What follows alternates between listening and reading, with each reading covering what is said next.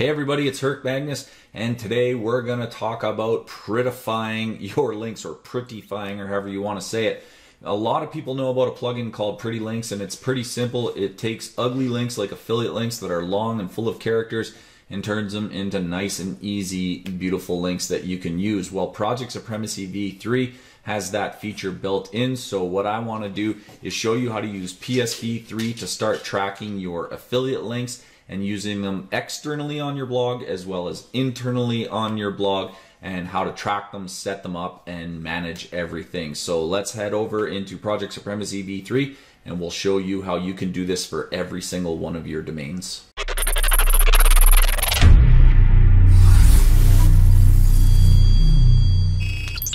All right, so here we are inside of Project Supremacy V3, and we are under the V3 plugin and link management.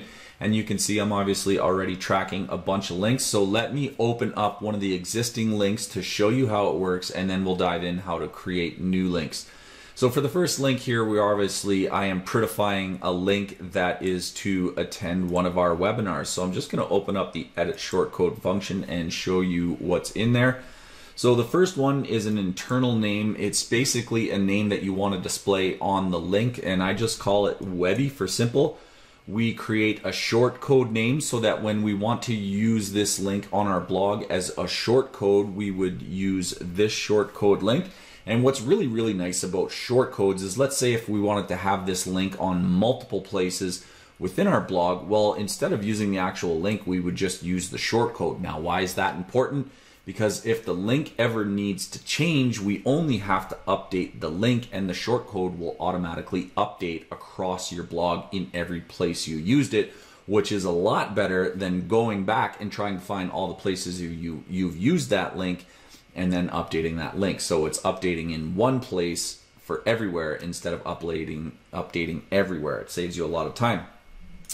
The title of the link is simply what you would want to title the link as if it were an anchor text link. So if you wanted the word to be clickable, this is what the word you would use is, and it would become a clickable link. And the other option is you also can, instead of choose a text-based link, you can actually use an image-based link, and you can see that's what we've done here, where all you'd have to do is supply an image URL, and then wherever you use the shortcode, the image will actually show up instead of a text-based link. And then of course, this itself would be the URL that you want to send people to, whether it be an affiliate link or a webinar registration page like I'm doing here, or you can even track links other to other places in your blogs. Um, I haven't gotten to the tracking yet, but we do track links. So now, the options for each of the links are basically built for SEOs that kind of want these extra elements built into their links. So, number one is do you want to open this link when it's clicked in a new window? Typically, it's good to do that with affiliate links because it leaves your site open on the other window, which increases the dwell time that people have on your site. Okay. Uh, so that's pretty handy. And then it also doesn't take the attention completely away from your site because people will still have your site open even though when they click on the affiliate link, they're going to go to a new site in a new window. But when they are done with that, because people have short attention spans and they close that window and bam, they're back to your site, which is super helpful. Next is, do you want the link to add a no follow attribute? So that way, if you have an affiliate link on a page that you're an SEO and you're building a lot of links to that page to try and bump it up in the search engines, you're not going to lose any of that juice through the affiliate link because you're going to mark it with a no follow link. And then finally, the mask URL is extremely handy because instead of showing um, in the bottom right when you hover over link, it kind of shows you where that link is pointed. Well, masking it will actually give it a nice looking internal style link. So for instance, we're on the domain projectsupremacyv3.com and when I create a link that goes to GoToWebinar or an affiliate link, when people hover over my shortcode, it'll actually mask the URL and prettify it, so that's making it pretty, um, with a Project Supremacy link. So you definitely typically want to have all three options turned on, but of course we do make it your choice which ones you'd like to use. So once you've filled out all the data, you click save and the link will show up here. Now on this page, you're looking at all the links you have set up. And here's what I'll cover on some of these. If you hover over the link, you'll see two things. Number one, you can copy the short code, and then that way, when you go to use the short code in your blog posts and pages, your link will show up, whether it be a text link or an image link. So that would be internally using a link, meaning using your affiliate link or your, your pretty link somewhere within your blog. But we also want you to be able to use your affiliate links outside of your blog. So say you're posting that link in an email or you're sending it in an autoresponder, which is extremely handy, or you're posting it on social media. So one of the things that I recommend, I do a lot of emailing, um, is always using a pretty link or or a project supremacy v3 masked link in your emails because that way let's say you send an email out and you want it to go to a webinar registration page but once the webinar is over people still click on those links in the emails. So what you can then do is come back and change the url to the replay page and that way the emails that you'd sent in the past that people read that you know it's too late for the webinar to be registered well, now you just have to update the link inside of the Project Supremacy V3 link. And now when people click on that old email and they do want to register for the webinar, even though it's over, well, you've changed the link now, but it now redirects instead to a replay page, which is very, very handy. The other nice thing about this is a lot of times people send out emails and they, they actually get the links wrong or something. So doing it this way, when you're using a masked URL, um, to put in your emails to send to the place you want to go, you have the ability to change the direction of the link after the fact, which is extremely handy in those scenarios. So uh, that's what the copy the masked URL for, and you can see how actually pretty this link is. This is a link to register for a webinar, but you can see it's v3.projectsupremacy.com, which is the site we're on, and then question mark go equals Webby. So it's a very, very nice, pretty link and we can make it go wherever we want. Share this in emails, share this on social media, share it on autoresponders, whatever. Uh, we also track the impressions, the clicks, and the conversions of each of your links. And we're actually going to extend this so that you're going to get two sets of conversions.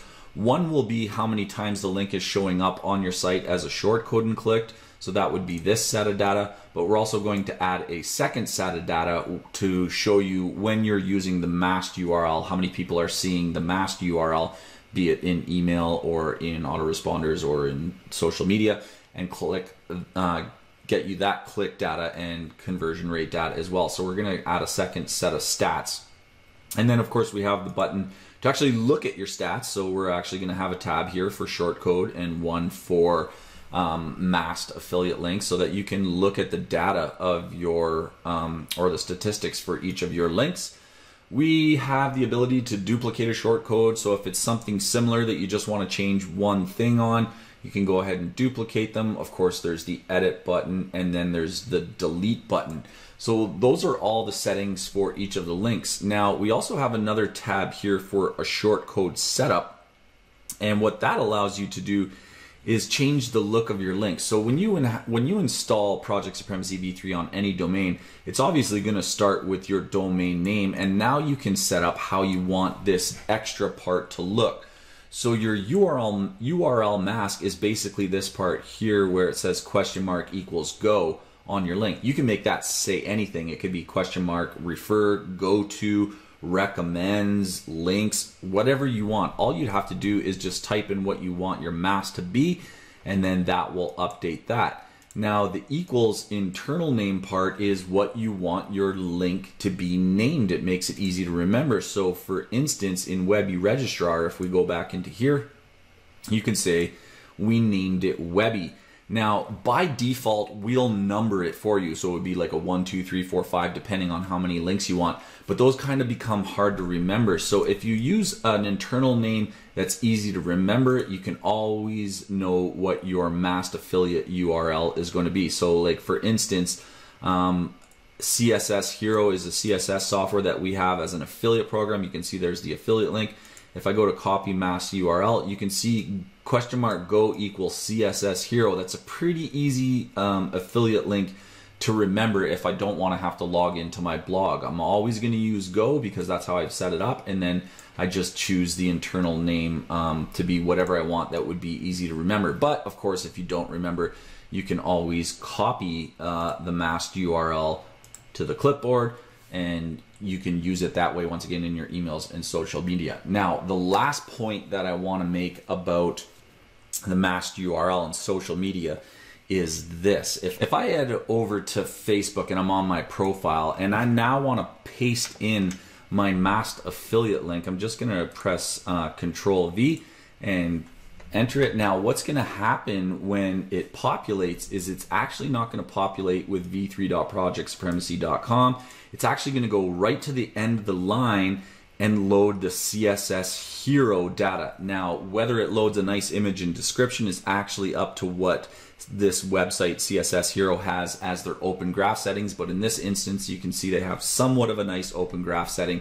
So now what I can go and do is go ahead and delete that link and say, hey, you know, has anyone checked out CSS Hero? Pretty awesome software, yada, yada, yada.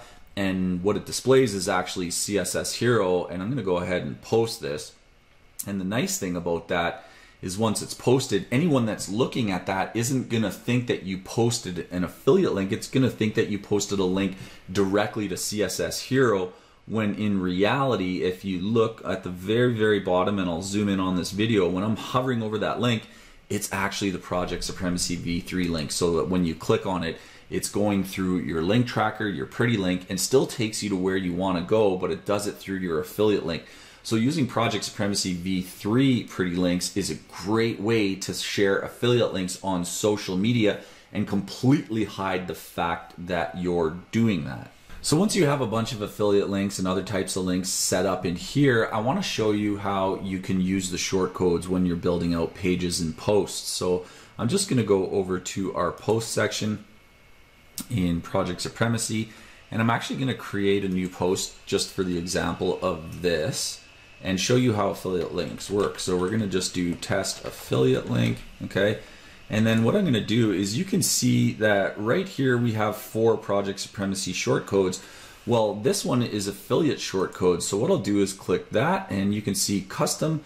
I'm going to add the Webby register shortcode and then I can choose an anchor text, but I already know in my mind that that's an image shortcode. So I'm just going to use that. And then I'm going to add another affiliate link. So I'm going to do the CSS hero one that we have. So I'm going to add that as a short code as well, but I'm going to change the anchor text a bit. Click here for CSS Hero, and then I'm going to click OK. All right, so you can see I've added two affiliate links here. I'm going to center them, and now I'm going to save that page. So I'll go over and scroll over, and update uh, the post, so we'll publish it. And then we're going to go look at it and show you what that short code looks like on the page when it's live. So we're going to click on this link here to actually look at this new post. And you can see we use the short codes. And here we go. You can see we now have the image showing for the register now, and we also have a text link for click here for CSS Hero. And once again, if you scroll or look in the bottom left of my browser, you can see where we have the affiliate link masked. So it's actually not showing that it's an affiliate link. It's showing as if it's an internal link, um, which is another great thing for Google. It's not showing off as an affiliate link. It's because they don't really like affiliate links, but as an internal link, it's much, much better. So here's an image uh, example, and then here's a test example. So once again, if you click on it, it does open in a new window so that when the user is browsing this, they're still open in your other page and increasing the dwell time. So um, you can use the short codes anywhere you want on your post pages, widgets, anything like that. And once again, if you ever need to change them, just go back to your link manager and update the affiliate link and your short codes can remain in place and then the link will be updated automatically for you. So hopefully you guys like the prettifying of the links using Project Supremacy v3. Every domain that you install it on will brand all your affiliate links to your domain with complete control over the way it looks and acts. So hopefully you like this guys. If you want a free trial of Project Supremacy v3, click on the link below. It will allow you to manage up to 50 websites for free forever and you'll get a 14 day free trial of all the premium features. So we'll talk to you guys soon, and hopefully you have a good weekday, weekend, or whatever. Talk to you soon. Bye bye.